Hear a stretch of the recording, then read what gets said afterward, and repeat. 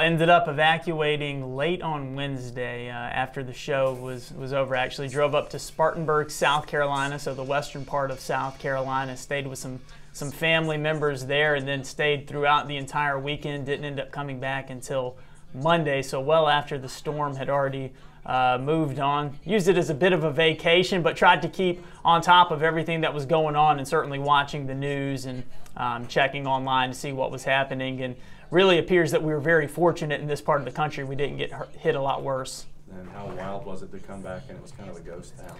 Yeah, it was very strange, you know, being so far away, um, removed from the situation where in Spartanburg uh, we got a little bit of rain, but that was it. And you're driving back and everything looks fine the vast majority of the trip, and you start getting closer and trees are down all over the place. You see power lines out, uh, not really anybody there in town was, was very surreal, but it lets you see the actual impact that took place. Even though you weren't here to see it, when you get back, you can see the damage, and it's not hard to see, oh, wow, a hurricane did come through here, and there was some real damage that, that went on. And obviously, what it's done is it's kind of made things screwy. And with the coastal football, I mean, it's I mean, five games in 23 days possible. That's just nuts.